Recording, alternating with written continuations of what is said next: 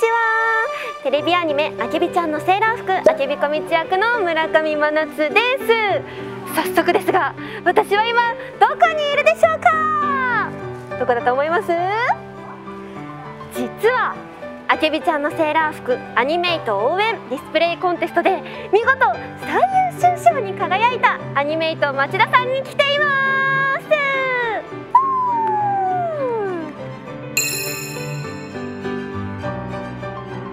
なんと今回は素敵な店頭を作っていただいたアニメイト町田さんの皆さんに商品をお渡ししに来ました。じゃじゃーんかわいいこちらが最優秀賞の商品。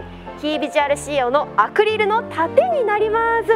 なんと形も桜の花びら型にかたどられていますししっかりとねアニメイト町田さんのお名前も入っておりましてすごい可愛いです。イエーイ。こちら実際の店頭もご紹介できればと思います。それではお店の中に入ってみましょう。ということで2階に上がってきたんですけどどこかな？あありました。すごい。イエイ。なんとこちらがあきびちゃんのセーラー服コーナーになりますだいてたんですけどもうそれと同じ可愛いものがありますよ。しかもじゃん。こっちには大きい宣伝ポスター。そしてじゃん。こっちにもなんとポスターあります。おー。ということで写真で見たよりもさらにすごいですね。嬉しい。ということでアニメイト町田の木村さんにご登場いただきました。よろしくお願いいたします。はい。本日はご来店いただきありがとうございます。こちらこそです、素敵なディスプレイを飾っていただきました。アニメイト町田さん。早速ですがこちらディスプレイコンテスト最優秀賞の商品になりますございます。頂戴いたします、はい。本当にえっ、とこちらの賞もですねあの当店のスタッフさんとかもちろん皆様あとは当店にご来店いただいたお客様、えー皆様でえーこちらの方使用させていただいたと思っておりますので皆様本当にありがとうございます、ありがとうございます。おめでとうございます。ありがとうございます。こちらのディスプレイすごい髪の毛一本一本まで細かく切り取りがあったりとかすごい細かい丁寧なディスプレイなんですけどこちらの装飾どなたが担当されたんですか？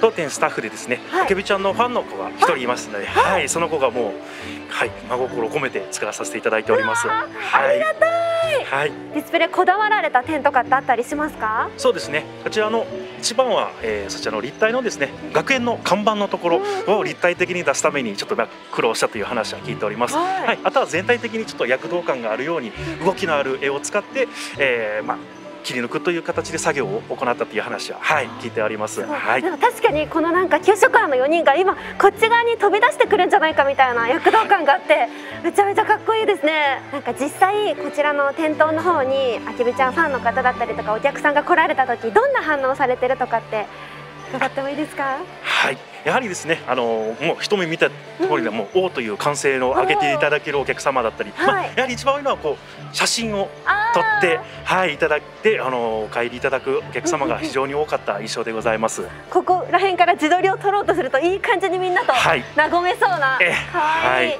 ちなみになんですけどこの後ろの結構友野ちゃんピックアップが その作られた方友野ちゃん推しなんですかね？そうですね、ちょっとまあ、あのメガネのキャラが大好きなあ子で、なるほどちなみに木村さんは誰推し、あ私はもうあけびちゃん。ありがとうございます。言わせてしまったような。みんな本当16人可愛いキャラなのでぜひぜひ愛していただければなと思います。ではこちらのポスターをなんと店頭に掲出いただけるとのことですので私のサインを入れたいと思います。じゃあ書いていきますよ。トゥトゥトゥトゥトゥトゥ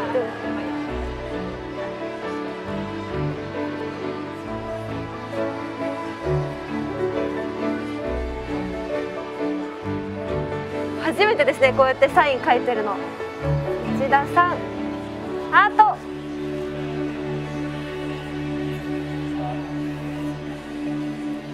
大きくサインも書きました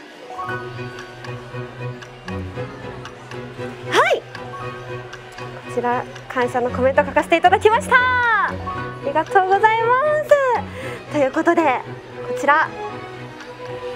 お願いす大きい形お願いします、はい、ありがとうございます。ありがとうございます。ありがとうございます。いただきました。もうすぐに飾らせていただきます。イエーイ、はい。お願いします。アニメイト町田さんそして木村さん本日日はありがとうございました。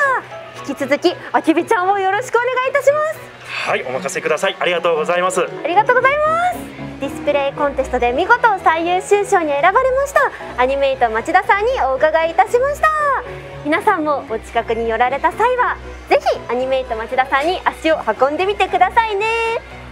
そして次は私村上真夏が選ばせていただきました。あけび小道賞に輝いたアニメイト福岡パルコさんにもお伺いしたいと思います。その様子もですね動画でご紹介しますのでお楽しみに。ということでご視聴ありがとうございました。それではまた明日。おまけ